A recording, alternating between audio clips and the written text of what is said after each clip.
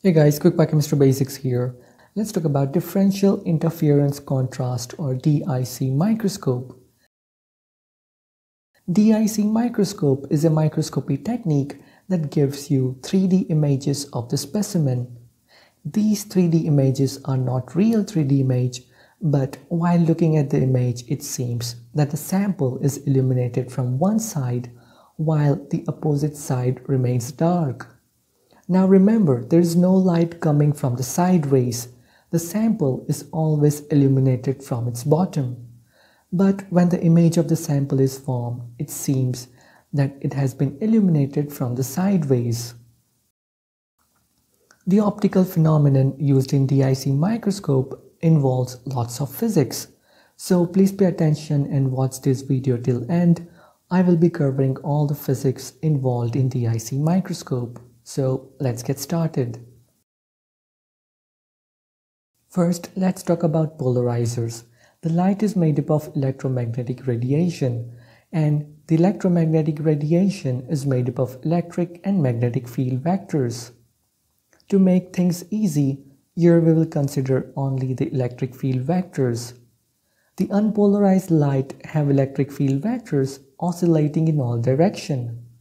When this light passes through the polarizer, only the electric field vector oriented in particular direction passes through the polarizer, whereas rest of the electric field vectors are blocked.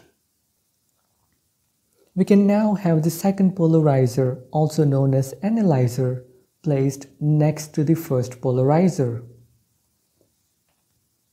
If both of them are parallel to each other, then the electric field vectors will pass through the analyzer and observed easily.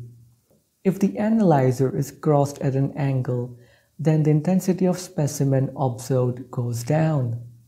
When the analyzer is at 90 degrees with respect to first polarizer, then the electric field vectors is completely cancelled out and no intensity of the specimen is detected. Nomarski prism. Nomarski prism splits the coming ray of light into two parts. One of them is known as the E-ray or the extraordinary ray and the other is known as the O-ray or the ordinary ray. The difference between E-ray and O-ray is that the electric field vectors are oriented 90 degrees with respect to one another.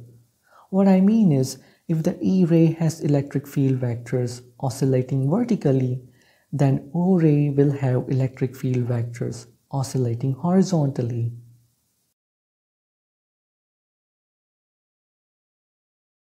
Now let's see the schematic diagram of DIC microscope. At the bottom, we have the condenser which is just like the condenser of bright field microscope. Next, we have the polarizer and it is placed at an angle of 45 degrees. On the top of polarizer, we have the Nomarski prism. Next, we have the objective lens just like the objective of bright field microscope. On the top, we have the second Nomarski prism followed by the polarizer which is at an angle of 135 degrees. Finally, on the top, we have the eyepiece to see the specimen. The angle of polarizer and analyzer can be changed as per user wish. Here we are using 45 degrees and 135 degrees just to make things simple. Now let's see the working of the IC microscope.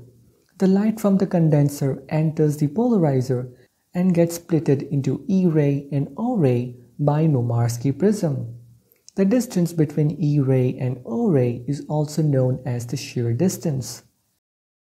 The E-ray and O-ray further travels through the specimen and encounters the second Nomarski prism.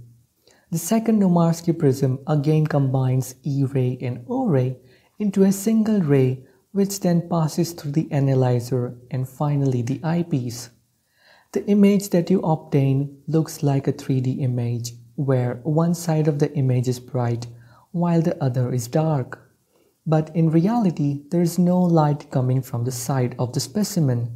the light is hitting the specimen only from the bottom. So the question is, how do we get an image where one side of the image is bright while the other side is dark? So let's try to understand the physics behind DIC. First, let's understand the wavefront. Wavefront is a plane perpendicular to the ray of light.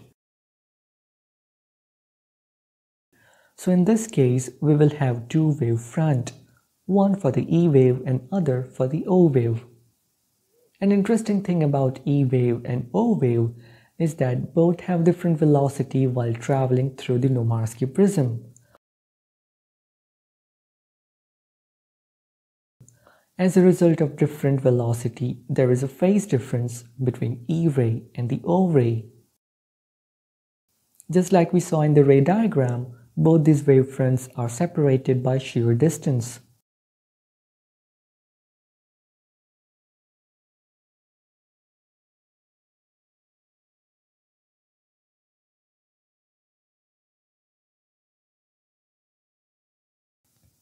Now things get interesting when both these wavefronts hits the specimen.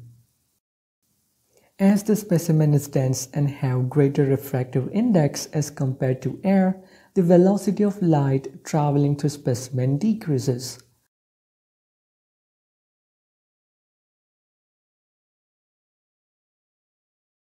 As the wavefront travel further, they encounter second Nomarski prism.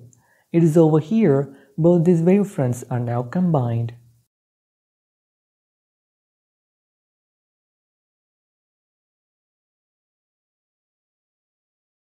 When E wave and O wave meet, something interesting happens. The point where there is no phase difference between E wave and O wave, the resulting electric field vector so formed is at 45 degrees. Now the second polarizer or the analyzer is crossed at 135 degrees.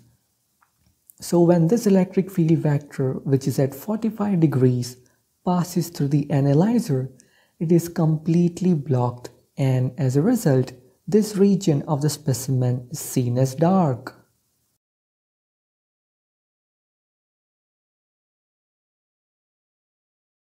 If we see the wavefront of the other region of the specimen, then there is a phase difference between E ray and the O ray.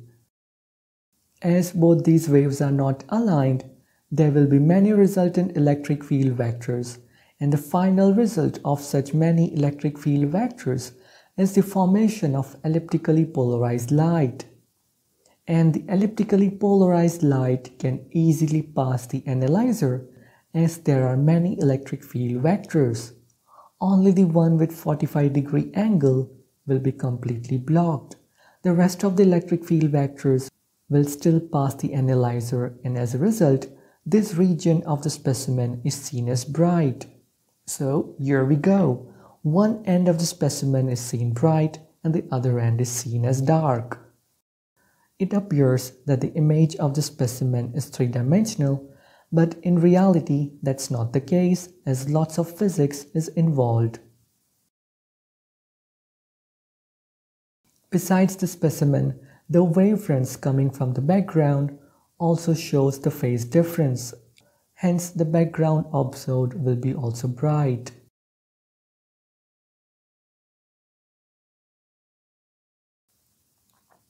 Now before we end this video, there should not be any confusion with the phase contrast microscope. The phase difference involved in DIC is completely different as compared to the phase difference of phase contrast microscope. Remember, in DIC, the phase difference is between the E wave and the O wave. It's between the electric field vectors of E wave and the O wave. This phase difference finally results in an elliptically polarized light which then passes through the analyzer and seen as a bright image. In case of phase contrast microscope, the light used first of all is not polarized. When this light passes through the specimen, there is a decrease in the velocity of the light. If the ray of light coming out of specimen hits the phase shifting ring, then there is a further decrease in its velocity. Finally, when these waves are combined by the eyepiece, two things will happen. The ray coming from the phase ring will undergo destructive interference because of its decreased velocity and phase shift. Here, this region of the specimen is seen as dark. The ray of light that fails to hit the phase ring will not undergo destructive interference and this region of the specimen is seen bright. Hence remember, in phase contrast microscope, the phase difference between the light rays results in destructive interference which gives rise to dark areas of the image. In DIC, the phase difference between two polarized waves, E wave and the O wave, give rise to an elliptically polarized light which passes through the analyzer and it's observed as a bright region. So phase contrast microscopy and DIC microscopy are completely different, hence do not mix them up. I hope DIC and phase contrast microscope should be clear by now.